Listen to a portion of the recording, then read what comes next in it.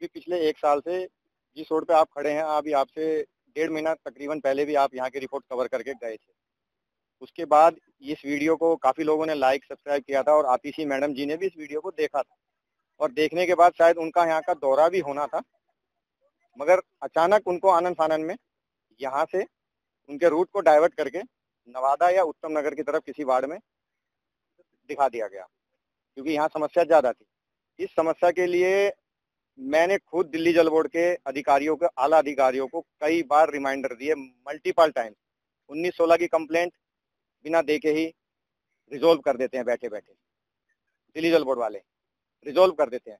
और जब उनसे वर्बली फ़ोन करते हैं, वो आज करेंगे, कल करेंगे कल करेंगे, परसों करेंगे, आज करेंगे मैन्युपुलेट कर रहे हैं बातों को, पर यहाँ पे आने का समय नहीं है। और अगर वो किसी दिन आने का यहाँ का प्रोग्राम बनाते भी हैं, अभी जब उनको पता लगा कि न्यूज़ वाले आने वाले हैं तो परसों इन्होंने आनंद फानंद में यहाँ पे गाड़ी भेजी। जब मैंने अधिकारियों को बोला कि मैं तुम्हारे सीनियर अधिकारी सीओ हों या एस सी हों या एडिशनल सीईओ हैं, जो भी हैं, इनके आई एस अधिकारी, अना बसु जी हैं सीईओ जलने वाला बैठते हैं तो इन्होंने आनंद फानंद में परसों इन्होंने गाड़ी भेजी, सफ़ाई वाली, जिसको डिसिल्टर और जेटिंग बोलते हैं। दो घंटे मात्र इन्होंने काम किया वहाँ पे बेकूफ बनाने के लिए, और दो घंटे के बाद जब मैंने उनको कॉल किया कि मैं कहा, भाई, कहाँ तक कार्रवाई पहुँची? वो बोल रहे हैं, हमको बोल दिया गया, वहाँ से गाड़ी हटा लो। वहाँ अभी काम नहीं करोगे, भगवती बिहार जाओ। क्या भगवती बिहार में ही सारे लोग रहते हैं? आतिशी जी से उम्मीद ये है कि वो मुख्यमंत्री तो ऑन डॉक्यूमेंटेड अभी बनी है, पर मेरे हिसाब से आज से सत्रह महीने पहले से सारे चार्ज ऑलरेडी उनके पास थे।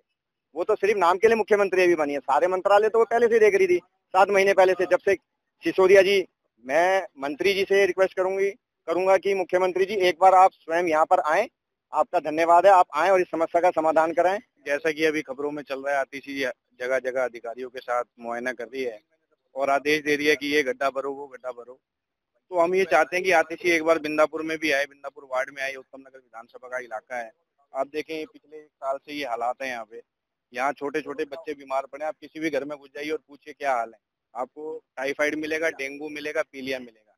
चौथी बीमारी आपको नहीं मिलेगी। मिलेगी तो फिर कैंसर मिलेगा, जो कि टूटी सड़कों से जो धूल मिट्टी उड़ रही है ये फेफड़ों में जाके लोगों के फेफड़ों को जाम कर है तो हम सख्ती लेके इसलिए खड़े थे ताकि आतिशी आतिशी जी तक हमारी खबर पहुँचे और वो आके इस क्षेत्र में खड़ी हो, अपने विधायक को, अपने पार्षद को साथ में खड़ी करें और ये काम कराएँ। उत्तम नगर विधानसभा के बिंदापुर प्रताप गार्डन के अंदर ये पिछले पंद्रह अगस्त को भी इसी स्थिति में हम यहाँ खड़े थे और आज दो अक्टूबर भी स्वच्छता स्वच्छता अभियान भी खत्म हो चुका आज हम इसी स्थिति में खड़े हुए हैं।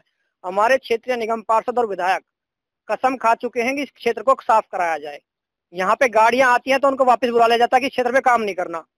क्या आतिशी मैडम जो नई मुख्यमंत्री बनी है, वो यहाँ आके अपने विधायकों को, अपने निगम पार्षदों को कहेंगे कि क्षेत्र का काम क्यों नहीं करना? क्या ऐसी मजबूरी है कि उस क्षेत्र का काम करने को मना कर देते जल बोर्ड के अधिकारियों को वो लोग? और मैं सफ़ा, बात साफ़ कहता हूँ, यहाँ पे अगर हम काम भी कराते हैं तो क्षेत्र के वो भी आ जाते हैं जल बोर्ड वाले तो उनको पैसे दे दे के सही सफ़ाई करवानी पड़ रही है यहाँ के लोगों को। फिर भी आम आदमी पार्टी के नेता को जाकर आँखें नहीं खुल रही आज भी। चुनाव भी आगे, चुनाव के टाइम पे अगर ये स्थिति तो आप समझ सकते हो पिछले नौ साल में क्या स्थिति रही होगी यहाँ की। चुनाव के टाइम पे तो सफ़ाई करानी चाहिए थी। छोटे बच्चे स्कूलों में आप देख लो प्रतापगढ़ के अंदर, हर घर के अंदर बीमारी घूम रही है।